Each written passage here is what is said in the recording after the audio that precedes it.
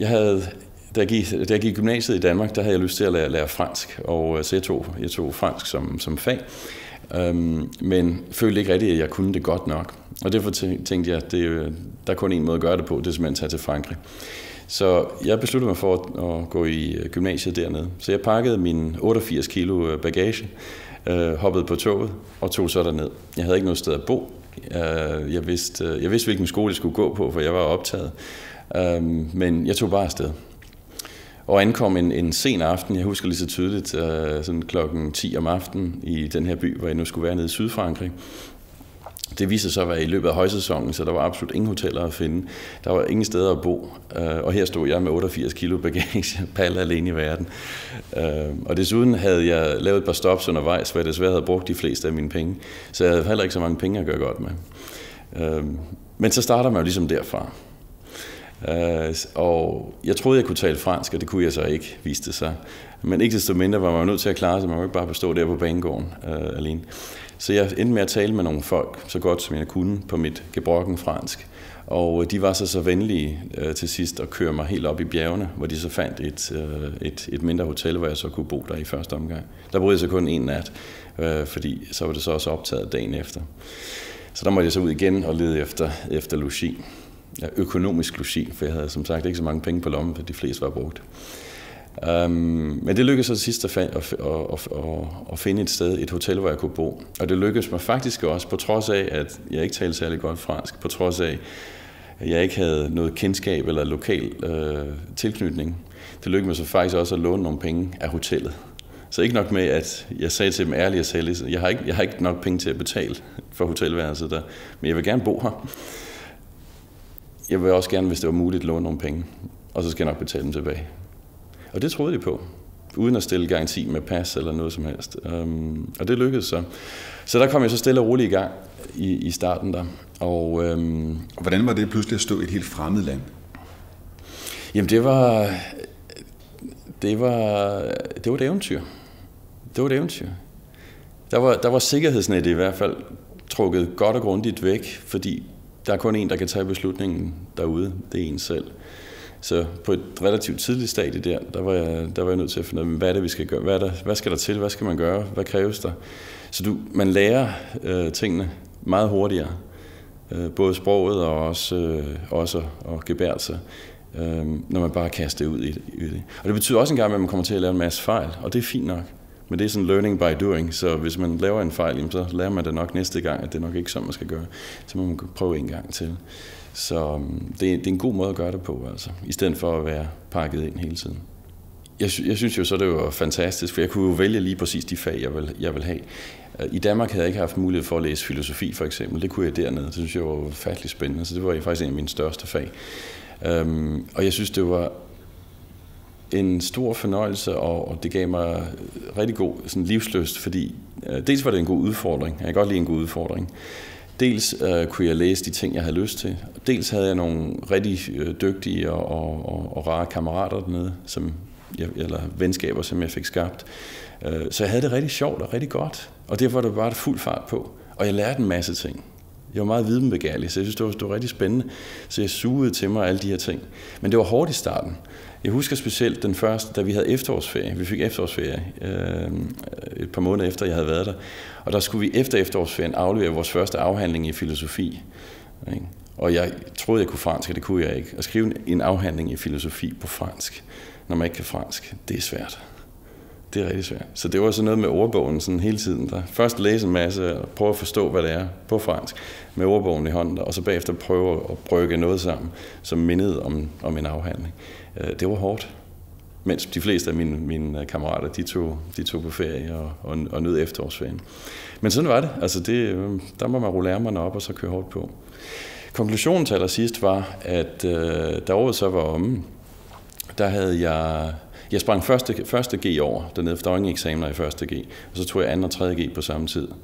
Så jeg har også sat lidt ekstra udfordring på, om så må sige. Men ikke desto mindre lykkedes det at bestå eksamen der, mens 48 procent af, mine franske kammerater øh, ikke bestod. Så, så, så ting er godt lade sig gøre, selvom det ser muligt ud fra starten der. Men hvad var det, du havde med? Hvad var det for nogle redskaber, du brugte til at komme igennem det år? De, det største redskab, jeg brugte til at have med, have med det ord der. Det var, øh, det var motivationen. Det, det kommer herindefra. Jeg havde lyst til at gøre det. Jeg havde en, en drivkraft, en lyst, en passion for, at det her, det var spændende. For jeg vil, jeg vil lære fransk. Det irriterede mig, at jeg ikke kunne, jeg ikke kunne sidde og snakke, fransk, snakke fransk til min franske kollegaer. Som det irriterede mig, at når de snakkede sammen, så kunne jeg ikke forstå, hvad de sagde. Det irriterede mig. Men jeg sagde, det, det her, det, det, sker, det holder ikke. Jeg må, jeg må forlære det på en eller anden måde. Der. Så, så der kørte jeg hårdt på. Læste en masse om det. Spenderede så meget tid, som jeg kunne, også uden for skolen med, med mine franske kollegaer. Og, øh, og på den måde så kom sproget efterhånden stille og roligt i gang. Jeg begyndte at forstå mere og mere, hvad der foregik i timerne. Så kunne jeg så ikke forstå, hvad der foregik i, i frikvartererne, fordi de talte meget slang dernede. Og jeg kunne, ikke, jeg kunne ikke forstå, hvorfor jeg ikke forstod, hvad de sagde mange gange, når jeg forstod, hvad der foregik i timerne. Men, men så var jeg så nødt til at, og, og lære alt det her slang, som var der omkring. Og der endte jeg med at lave sådan min egen lille slangordbog, hvor jeg simpelthen skrev ned ord for ord, hver gang der var et nyt et der. Så der havde jeg sådan en lille, lille liste til sidst af, af slangord, så jeg kunne forstå, hvad de snakkede om. Og jeg også selv kunne være lidt cool. Uh, og så kommer det så stille og roligt jo. Og så kører snebolden et skridt for skridt for skridt. Og så derfra kunne jeg så bruge nogle af de redskaber, som jeg har lært øh, i min danske uddannelse, hvor jeg følte virkelig, at jeg har fået en, en rigtig god uddannelse. Og det må jeg så også sige sammenligningsmæssigt var, at de ting, jeg lærte i Danmark, både i folkeskolen og i gymnasiet, redskabsmæssigt øh, stillede mig i en, en rigtig god position fordi jeg var vant til, hvordan man skulle bearbejde en tekst. Jeg var vant til at forstå, forstå nogle ting. Jeg var vant til at stille mig kritisk over for, for, for en tekst. Hvorimod i Frankrig var det meget sådan, læreren er nærmest øh, Gud og taler ned, og så tager man bare noter, og så skal man kunne det udenad. Den slags måde var langt fra den måde, som jeg havde tænkt mig at gøre det på. Mit, mit ophold i Frankrig har helt klart givet mig øh, en stor oplevelse i form af at tage ned og prøve at finde ud af, hvordan man, man starter et liv i et, tidligt øh, i, en tidlig alder i et, i et andet land, og hvordan man sådan ligesom, hvor starter man henne? Lige, alt lige fra at få papir til at åbne bankkonto og, og den slags ting, der til, og til at skabe venner og den slags ting. Så det, det, det giver en, en erfaring i at lande et nyt sted, og så ligesom starte fra scratch og bygge op.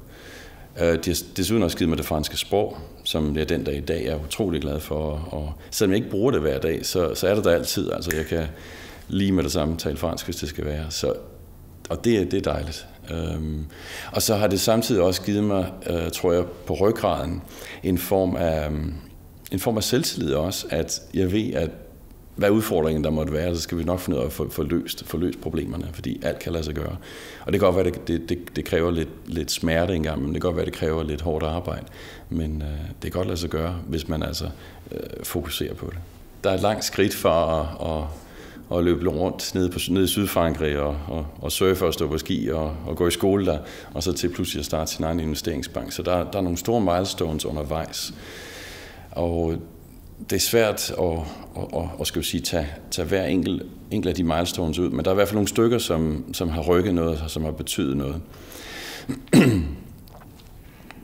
En af dem, som har, en af de milestones, som betød noget, var, øh, var helt klart min, øh, min første akademiske uddannelse. Der, jeg er jurist herhjemmefra, og også fra England af, øh, hvor, jeg, hvor jeg på det tidspunkt lærte nogle sådan ret systematiske måder at tænke på. Øhm, og det er så den måde, man underviser på der. Der er altid pro og kontra, og sådan en form for konklusion til sidst.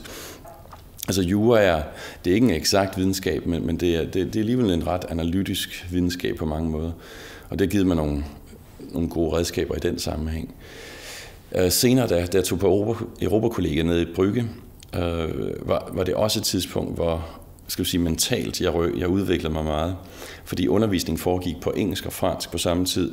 Det var et relativt lille universitet, sådan en slags europæisk øh, Oxbridge, øh, om du vil, hvor man kendte lærerne rigtig godt, og der var sådan tutorials, og man arbejdede meget tæt sammen med dem.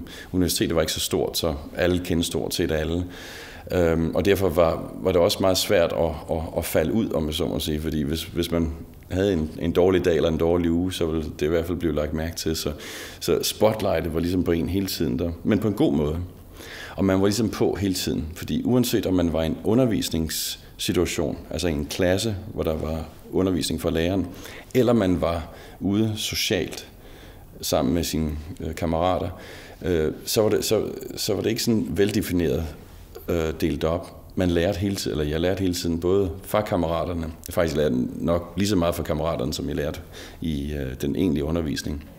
Fordi vi var alle sammen sammen 24 timer om dagen. Vi, vi boede på college. Vi gik, vi øh, gik til de samme sociale ting og fester, og, og, og vi havde det utrolig sjovt. Der var mange af den slags. Uh, og undervisningen foregik også uh, uh, sammen. Så, så alt var ligesom en, stort set hele ens liv var en stor læreproces direkte eller indirekte. Direkte forstået på den måde, den ting, der blev undervist der. Indirekte i form af den kultur, fordi vi var jo folk fra hele verden, i hvert fald det meste af Europa, men også fra hele verden, som har samlet os. Så selv når man havde fri, og sad og drak en øl med en eller anden, jamen, så lærte du en masse ting også om, om en anden kultur. Så du var aldrig rigtig fri, men du tænkte ikke over på den måde. Det fast-trackede mig så derfra så ind til Europakommissionen, hvor jeg var inde øh, i, øh, øh, som, som junior inde i øh, øh vice, vicepræsidentens kabinet. Øhm, og det var lige pludselig som, som junior, så sad jeg der blandt, øh, blandt øh, alle udenrigsministerne fra Europa, alle økonomiministerne fra Europa. Uh, jeg mødte med, mødte med king, kongen af Jordan. Uh, vi havde øh, Arafat på besøg på et tidspunkt. Uh, der var altså alle de her sådan, statsledere og, og, og vigtige folk, sad jeg, lille Per, og var fluen på væggen, om jeg så må sige. Uh, så på den måde kan du sige, det var også en, en, en, et fantastisk godt springbræt. Og det var også, tror jeg, medvirkende til, til sin tid, at jeg fik det her tilbud fra Bill Clinton om at komme over og arbejde øh, i det hvide hus, dengang han var præsident, for grund af de, alle de ting, som jeg havde lært der. Så du kan sige, at det ene springbræt fører videre til det næste springbræt, som fører videre til det næste springbræt. Og på den måde kører express-elevatoren. Et andet tidspunkt i mit liv, som også øh, helt klart har øh, været et, år, et stort hop, øh, var min uddannelse på, på Harvard, da jeg var derovre. Øhm, det har altid været mit drøm at komme ind derovre, øh, og jeg var utrolig glad, da, da tilbuddet kom. Jeg havde svært ved at tro, at det var, at det var rigtigt eller det var sandt, for jeg vidste, hvor svært det var at komme ind, men var glad for det. Hvad har du selv gjort for at komme ind derovre? Øhm, jeg havde, jeg havde gjort, ja, det, jeg havde gjort for at komme ind, var at skrive en ansøgning, men en, en, en ret ekstensiv ansøgning hvor, hvor man forklarer hvorfor og sådan nogle ting. Og øh, der er mange, øh, dengang jeg var derovre, øh, der blev jeg også selv medlem af optagelseskomiteen, så derfor kender jeg lidt fra indsiden af også. Og der er mange dygtige, dygtige folk, som ansøger med, med fantastisk høje karakterer. Men udover at man bare er dygtig og, og er sådan i, i toppen af sin klasse og den slags ting, så skal der altid være et eller andet unikt, en eller anden form for unik vinkel, eller en eller anden sådan personlighed, som spejler igennem, eller en eller anden del af historien, som ligesom siger, at her der er et hook det det her, det betyder virkelig noget. Eller den her person, den vil du egentlig gerne møde. Det husker jeg lige så tydeligt, når jeg læste, læste alle de ansøgninger igennem, da, da jeg sad derovre. Der, så, og det var en af de ting, som vi gik meget op i, det var, hvad er det unikke hook her? Hvem, altså, fordi der er også mange dygtige. Altså, dygtig, dygtig, det er ikke nok. Du skal være dygtig, men du skal også have noget ekstra. Da jeg var over på Harvard, der, øh, der var øh, det, nok, det har nok været et af de tidspunkter i mit liv, hvor jeg har arbejdet mest for at være helt ærlig. Uh, igen også, det var hjertet, der drev det. Jeg synes, det var utrolig sjovt. Det er et toårigt kursus, jeg skulle igennem for, for at få sådan en master. Men da det første år var gået, der var jeg færdig med halvandet år uddannelsen. Simpelthen fordi jeg loaded op med, med kurser, uden at gå på kompromis med kvaliteten. Jeg fik ikke noget under A minus. Det var alt sammen deroppe af. Men det var igen, det var, det var, det var, det var lysten, der drev det. Det var fordi, jeg synes, det var spændende. Der var alle de her tilbud af fag af den ene og den anden og den tredje slags, ikke? og jeg ønskede at, at lære mere om det. Jeg ville gerne tage dem alle sammen på en gang helst. Og jeg tog så så mange, som jeg nu kunne overkomme. Ikke? Og havde det sjovt med, med de her folk, som jeg var sammen med. Så, så det, var, det var svært at sige nej. Men det var til gengæld også hårdt, fordi hver fag, forberedelsen til hver fag, var væsentligt mere, end nogen person fysisk set kunne overkomme. Og det var med vilje. Så, så du havde til hver fag væsentligt mere, end du på nogen måde kunne forberede. Men det forventedes, at du vidste, hvad der nu var i, hvad der stod i teksten, eller hvad der var i lektionen. Og dermed lærer man altså så at kunne læse lidt på, lidt på tværs og finde ud af, hvor er det vigtige henne, og hvor er ikke det vigtige. Så du lærer at skibbe en masse ting. Du kan sige, at det er det, vi skal fokusere på, det er det, vi skal fokusere på. Så hele den her sådan, prioritering og evnen til at bearbejde en masse information ret hurtigt, øh, den, den lærer man, og den lærte jeg i hvert fald det. Så det var god hjernegymnastik, kan man sige. Den slags metodik har jeg god brug af den dag i dag, hvor jeg sidder i de globale kapitalmarkeder og får 10.000 dele af information hele tiden der. Og der er jeg god til at zoome ind på og sige, det er det her, det er det her, det er det her, og ikke andet, vi skal fokusere på. Så det er helt klart hjulpet. Den anden ting, som også virkelig gjorde en stor forskel på Harvard, øh, var de folk, som jeg var sammen med. Jeg lærte lige så meget, og nok mere, fra mine kammerater, som havde nogle fantastiske baggrunde, og, og virkelig, øh, det er faktisk en ret ydmyg oplevelse at være der, fordi man er blandt så, så, så stort talent og så videre, man, og man lærer så meget. Det, det er ikke, man, når man ser på en person, så er det ikke oplø, oplagt, at de er så dygtige, eller kan en masse ting, eller sådan ting. Det, det er bare sådan, det er John, og det er Peter, og det er, hvad de, hvad de ellers hedder.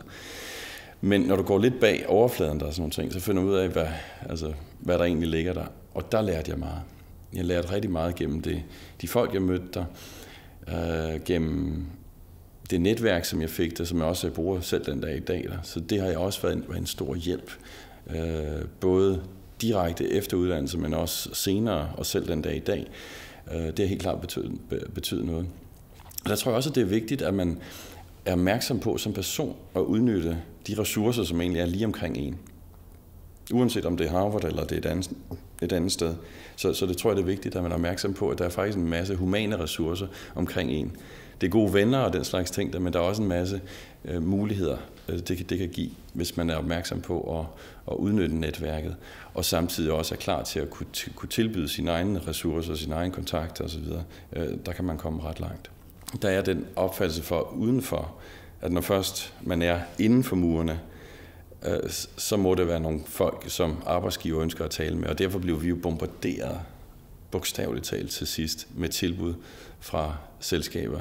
Det var ikke sådan, at vi skulle rejse fra Boston, hvor vi var, så hen og interviewe her og der og sådan ting. Nej, alle de kom drønende op der, og det var sådan, at det andet år, jeg var, det sidste år, jeg var der, var der sådan en, der var, der var nærmest en, en cocktail og en præsentation for, for, for de her store banker og konsulentfirmaer og, og andre virksomheder, som hver dag, hver aften præsenterede dem selv, hvor dygtige de var. Således at de kunne tiltrække talent. Det, øh, så, så det var en privilegeret situation at være i, og man skal passe på ikke at blive alt for høj på stå, fordi det er, de, de, de står der og, og hiver nærmest i en og siger, vi vil, vi vil ansætte dig, vi vil ansætte dig, vil du ikke nok høre mere om det her? Og du skal også mødes med den her person, og vi vil gerne arrangere en dinner, og og til sidst, når man så ender med at få, få jobtilbud, konkrete jobtilbud og sådan nogle ting der, og de gerne vil have en til at skrive under på det, så, så er det tilbud om weekender her og der, og jeg havde champagne, der, der ankom hjemme, hjemme på, på bogpælen og, og sådan ting. Altså de, de prøver at gøre alt for, at, at, øh, at det er hos dem, man skal skrive under. Så, så det, er en, det er også en svær proces. Det er en sjov proces at gå igennem. Øh, det er en privilegeret proces at gå igennem, fordi pludselig er verden helt åben, fordi der er den her øh, rigtig eller forkert perception om, at der er nogle dygtige folk der. Så, så tilbudene kommer, kommer, kommer den vej. Der var to tilbud til sidst, som egentlig var dem, som gav mig søvnløse nætter, som jeg virkelig havde svært ved at, at vælge mellem. Det ene tilbud, det var det, var det her for, for, for Bill Clinton at tage ned i det hvide hus. Det er ikke hver dag, man som udlænding får et tilbud om at komme, komme og arbejde i det hvide hus. Øhm, og øh, det, i det år, hvor jeg var der, der var der, der, jeg tror, der var omkring 40 af, af den her slags interne pladser.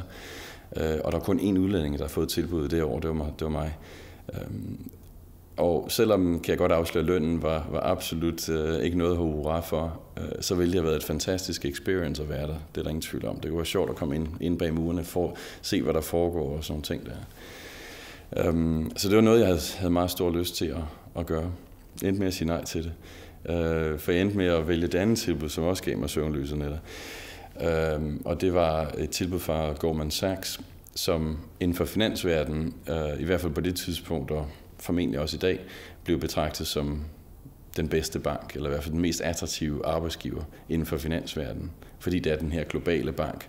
Og der var altid den her mystik omkring Goldmans, Øh, specielt på det tidspunkt her, hvor Gormans var et øh, øh, privat, en privat bank og et privat firma, det var ikke listet på børsen endnu.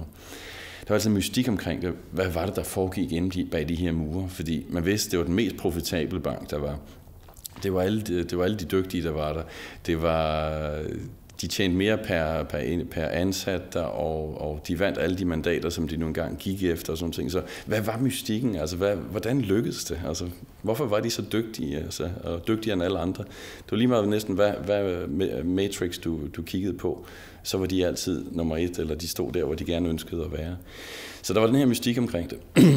og så vidste vi også godt på det tidspunkt, at øh, der var tale om en børsnotering og den slags ting. Og det er jo klart, det, det ville jo også blive en ret interessant begivenhed at være med til, hvis man var der. Men det var svært at komme ind. Øhm, jeg havde selv 38 interviews, før at øh, de øh, syntes, det var en god idé, at jeg skulle komme og, og, og være en del af familien der. 38 interviews i Boston, i London og så til allersidst i New York. Og jeg kan huske, at min sidste runde, det var udelukkende med, med top management i uh, New York, i uh, Goldman's Worldwide. Så det var Head of International, det var Head of Equities, det var, det var alle uh, spidserne simpelthen. Og det var bare for, at de skulle ansætte sådan en som mig, som på det tidspunkt var, var junior inden for, inden for firmaet. Men så seriøst tog man rekruttering. Um, så derfor var det svært at komme, komme ind. Og når du så egentlig er kommet ind, og er kommet igennem de 38 interviews, så skal man altså også tænke sig lidt om, før man siger nej tak. For det har været en, det har været en lang vej. Jeg, jeg synes ikke, jeg var selv tro over for mig selv, når jeg siger, at jeg er rigtig entreprenør og rigtig iværksætter, øhm, hvis ikke jeg lavede min egen virksomhed. Så er det bare snak. Og, øh, og der følte jeg, der kom der et tidspunkt, hvor jeg synes, nu, nu, nu er der for meget snak. Nu, skal, nu, nu skal der gøres noget ved det. Og der gjorde jeg så det, at jeg så lavede en, en lille businessplan, og gjorde så klar til at sige, men nu er det det her, vi skal gøre der. Og trak så stikket ud til allersidst. Så fik vi selvfølgeligvis øh, det, det, det held eller uheld, kan man sige, at der kom en lille finanskrise ind, øh, da vi endelig var sådan kommet, kommet nogenlunde i, i gang og sådan nogle ting. Øhm, da vi sådan var, var kommet op på, på sådan nogenlunde kritisk masse, så kom finanskrisen så lige pludselig ind for højre der. Øhm, og, det var, og det var en finanskrise, som vi ikke havde set siden øh, i 1929, eller siden, siden 30'erne faktisk. Så en historisk stor og markant og aggressiv finanskrise. Øhm, og den er svær, også når du står som sådan relativt nyopstartet og pludselig skal kæmpe mod. Men der var to ting, som øh, jeg og vi gjorde, som stillede os i en stærkere position efter finanskrisen, og som helt klart er gode lessons learned, og som jeg har skrevet bag mig den dag i dag. To ting, vi gjorde, som var helt rigtige, og som gør, at vi i dag efter finanskrisen står stærkere og er i gang med at hyre folk ind, mere end vi er ved at overveje at lukke og den slags ting, som nogle af vores konkurrenter er. Og der er faktisk nogle af vores endda større konkurrenter, som er gået nedenom og hjem. Og der har været nogle af vores større konkurrenter, som øh, jeg faktisk har haft mulighed for at købe, og som jeg har kigget på at købe, opkøbe simpelthen. Og det er jo dejligt at stå i den position. Og hvorfor gør vi det? To ting, der virkelig gjorde forskellen. Nummer et er, den dag, da, den dag, da Lehman gik nedenom og hjem, det er den, den 15. september, dagen efter, der gik jeg ind og skar alle vores omkostninger ned til det minimale. Lige med det samme, for jeg vidste godt, hvad det betød. Der reagerede jeg lige med det samme. For jeg vidste, hvis Lehman går nedenom og hjem, så ved jeg, så er der systemisk risk i hele systemet der. Fordi det er ikke kun Lehman det her det er også alle dem, der har counterparty relationships med Lehman, og det er, alle, det, det er hele systemet, der pludselig, der pludselig hænger sammen her. Så det her, det bliver meget mere, øh, det, det kommer til at brede sig væsentligt længere ud. Så der skar vi omkostningerne ned til det minimale lige med det samme. Og hvad gjorde I for det? Jamen tidligere kiggede vi ikke på omkostninger sådan rigtigt, fordi der var, der var julen begyndt at køre, så der var det bare spendere, hvad der kræves, og lad os have det sjovt, og så bare komme videre, fordi det handler om at vinde mere business og vinde mere business og vinde mere business. Og hvis det koster lidt, og, og vi spiller lidt her, og sådan, det gør ikke så meget, fordi vi skal fremad, vi skal fremad, vi skal vækste, vi skal vækste. Men når pludselig, at miljøet ikke er til, at du kan generere de samme indtægter og sådan ting, så skal du fokusere på omkostninger lige med det samme. Så der skar vi ind til benet øh, lige med det samme, og, og kørte alt ned i, i stille og roligt niveau, og var bevidst om, hvad der bliver brugt. Så det var den ene ting, vi gjorde, der var helt klart en, en, øh, en hovedårsag til, at vi står stærkt i dag. Nummer to var, at øh, vi brugte heller ikke øh, gæld eller leverage. Forstået på den måde, at, at mange af både bankerne og, og mange andre investeringsbanker og sådan ting, der, de har jo brugt gæld til at finansiere deres vækst. Vi har ingen gæld. Vi har nul gæld. Vi ønsker ikke at have gæld. Og, og det er sådan lidt konservativt, kan man sige, og det er også sådan lidt påpasseligt. Men det gjorde og gør, at den dag i dag at har vi ikke problemer med at betale vores, øh, vores renter eller den slags ting. Eller vi har ikke løbende rentebetalinger, fordi vi har ingen gæld. Og det er en dejlig position at stå i, skulle jeg helt sige. Jamen nu går det fantastisk. Vi kan næsten ikke følge med. Vi ligger flat ud. Altså, jeg, jeg kan... Vi, vi udvider i øjeblikket. Vi interviewer to-tre kandidater, øh, nye kandidater, stort set hver dag i øjeblikket. Der. Øh, vi har lige taget nye øh, kontorlokaler, som ligger i Mayfair i Central London. Øh, der, har vi, der har vi nu 250 kvadratmeter klar, så vi har, vi har masser af plads nu. Tidligere havde vi ikke plads nok, kontorplads nok til at kunne øh, akkommodere nye ansatte der, men det har vi nu. Så nu, nu har vi aggressive vækstplaner, og øh, nu er det bare om at få, få folk ind. Og lige nu, er faktisk, jeg får nogle gange det spørgsmål sådan i miljøet, som det er i øjeblikket, øh, er det ikke svært altså at klare sig med en opstartet bank i, øh, efter finanskrisen og sådan nogle ting. Ikke? det, det må være hårdt, og det må være svært og sådan nogle ting. Og øhm, mit svar er lige modsat faktisk. Det er, lige nu er faktisk så godt, som det nogensinde bliver. Jeg kunne ikke ønske mig bedre et bedre miljø, end som tingene er lige nu. Businessbetingelserne for at gøre business øh, i min position er så gode, som de nogensinde bliver. As good as it's ever gonna get. Sådan er det. Hvorfor det? Jo, fordi der er god talent på gaden. Der er dygtige folk, som er blevet hældt ud af bankerne. Og dem, der ikke er blevet hældt ud af de store banker endnu, øh, de er ved at være trætte af det. Fordi der er så meget politik, og der er meget nedskæring, og folk sidder der, og de er meget nervøse for, øh, om de er nu næste, der bliver smidt ud, og i mellemtiden, der, så, så er der sådan en ret dårlig stemning og sådan nogle ting der. Så det, det er nemmere for os at trække dygtige folk ud af bankerne. Det er nemmere for os at tiltrække folk på rimelige priser, som er ude på gaden, for der er meget dygtigt talent ude på gaden i øjeblikket. Og i og med, at vi er en, en human virksomhed, altså vi er en servicevirksomhed i den finansielle servicesektor, så er øh, de, de folk, vi har, det er vores ressourcer, det er vores maskiner, det er vores øh, produktionsapparat. Så derfor betyder det utrolig meget, at vi har de rigtige folk. Og dem kan vi tiltrække nu.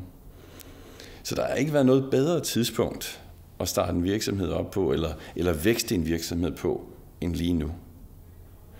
Desuden på omkostningssiden, så er alt kommersiel real estate og, og, og den slags ting, de er jo kørt godt ned i gear. Og det betyder også, at det er billigere, og, så, så mine omkostninger er meget billigere, end de var tidligere. Det er billigere at, at lege lokaler, det er billigere at købe lokaler, det er billigere at øh, de ting, vi skal bruge på IT-siden og sådan ting, der kan vi presse vores supplier mere, fordi de, de, og specielt hvis vi tilbyder, at vi betaler cash up front, uha, så kan vi godt tale. Cash up front, det, det er fordi de er lidt cash crunched, eller de er lidt credit crunched også, og det betyder, at vores omkostninger kan vi reducere. Vi kan vækste på medarbejderstaten der. Og samtidig er det kapitalmarkedsmiljøet er rigtig godt i øjeblikket. Det er ikke lige så godt, som det var under kreditboomet. Og det, men det er okay. Men det er, det er rigtig godt, fordi riskappetitten er kommet tilbage. Det vil sige, at vi har et miljø, vi kan operere i. Det er ikke sådan, at folk sidder på deres hænder og kan ikke gøre noget, vil ikke gøre noget. Folk kan godt gøre noget, og folk vil også godt gøre noget. Barrieren er lidt højere, så det kræver lidt mere arbejde, det kræver lidt mere fokus, og det kræver lidt mere dygtighed, og det kræver også en lille smule mere held og execute tingene, for dealsene kørt igennem og sådan ting. Det er lidt sværere, men det er okay, for hvis man har de gode ting og, og, og gode kvalitetsdeals, og, og man har nogle ting, som virkelig performer, jamen så er appetitten der også. Og så kan man, så kan man uh, gøre business. Så derfor er miljøet, som det er i øjeblikket, både på omkostningssiden og på indtægtssiden, det er faktisk så godt, som det formentlig nogensinde bliver. Jeg har været heldig, og, og der skal lidt held til også. Jeg vil sige, det er ikke kun godt talent og, og dygtighed og sådan nogle ting. Det jeg skal være helt ærlig at sige. Der, der skal også lidt held til en gang men for at tingene de, de lykkes der. Øhm, jeg, har, jeg er så i den heldige situation, at hvis jeg kigger tilbage, så er der meget få dage, jeg nogensinde vil ændre, fordi tingene har bare lykkes. Det, det, det er næsten lige meget, hvad jeg rører ved, så, så lykkes det. Om det så er et stort eventyr, eller om det er, det er businessmæssigt.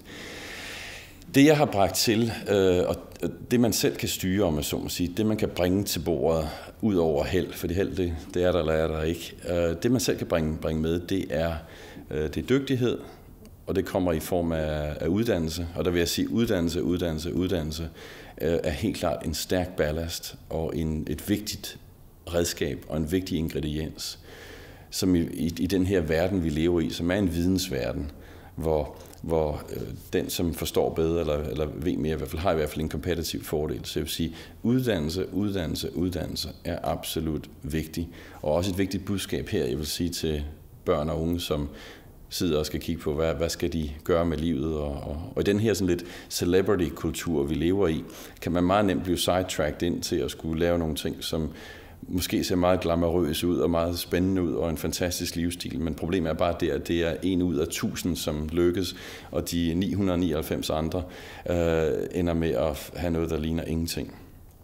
Så man kan sige, der, der er et ret stort sats og ret høj risk-reward, hvis man går efter den her glamourøse øh, celebrity-kultur, som, som vi nu lever i den dag i dag.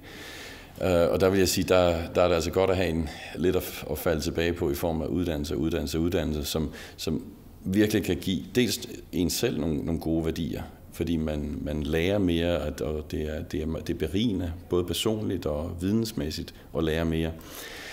Øh, men samtidig er der også noget, der giver en professionelt noget, fordi du kan, du kan bygge op derfra. Og der vil jeg sige, der har min uddannelse øh, helt klart betydet meget for, at jeg kunne komme dertil, hvor jeg er den dag i dag.